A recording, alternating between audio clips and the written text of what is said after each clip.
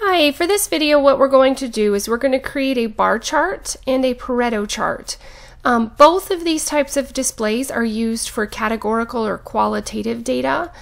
Um, this is data that you can't really do math with, all you can do is counts. Um, a bar chart is different from a histogram in the fact that it has spaces in between each of the bars. A histogram, the only spaces or gaps that you should have is if you have zero in there. Um, a Pareto chart is a specific type of a bar chart um, where you order the data from the greatest frequency to the least. So I'm going to start by creating a bar chart. The information that we have are these are the types of lenses that people wear in a sample of a thousand. So a thousand people were asked which type of lenses they used, and this was the information that we got. So when we're setting this up, you can do a frequency bar chart or you can do a relative frequency. I'm just going to do a frequency. Um, the relative frequency, all you would have to do is convert this to a percent. And over here on the left-hand column, instead of labeling it as frequency, you would label it as relative frequency. Um, so the first thing that I want to do is I want to set up my labels. So this is going to be the frequency, Um, up here, I'm going to title this as the type of lenses so that anybody looking at it will realize that of the people that we polled, um, what type of lenses they would have.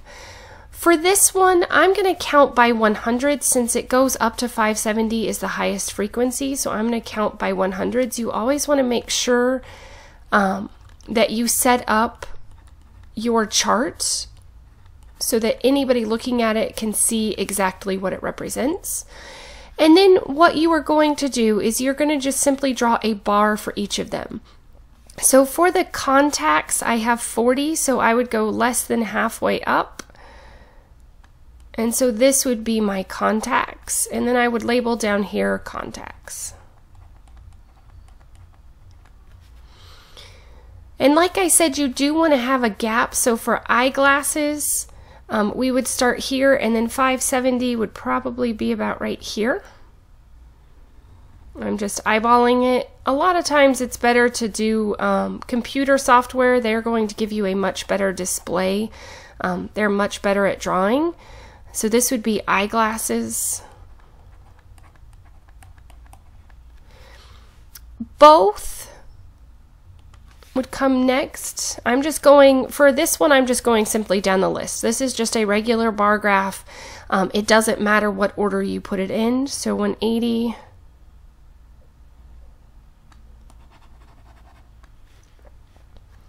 This would be both. And then the last one would be 210.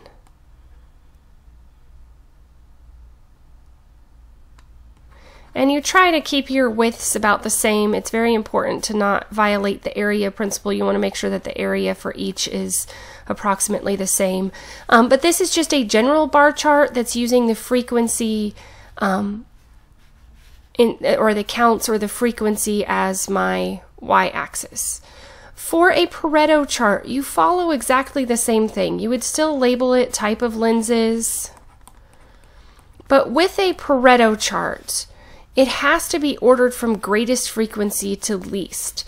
Um, so this would still be my frequency on this side.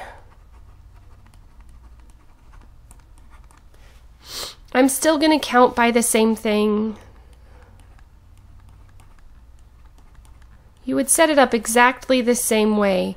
But here it's important that you start with the category that has the most in it. So since the glasses was the category that had the most in it, since the glasses had 570, um, that's what we would have to start with in the Pareto chart. So with the Pareto chart, you always start with the highest first. So since 570 was my highest,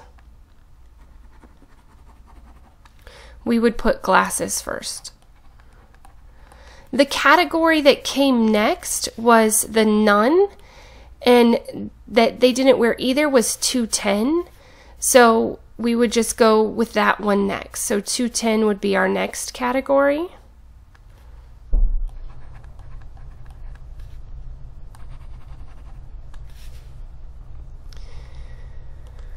followed by both. And so our both was 180.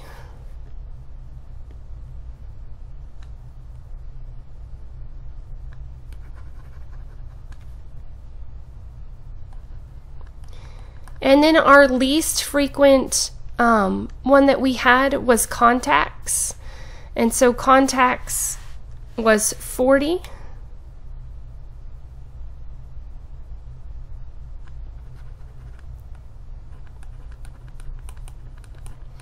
So you can see from um, using the Pareto chart, it really emphasizes which one occurs the most often and which one occurs the least often. So um, this might be for like profits, so you can see which type of um, thing is selling more, and that would be what you would want to emphasize. Um, where the other one is dealing more, um, the order isn't important. As always, thanks for watching. If you have any questions or need other topics, please let me know.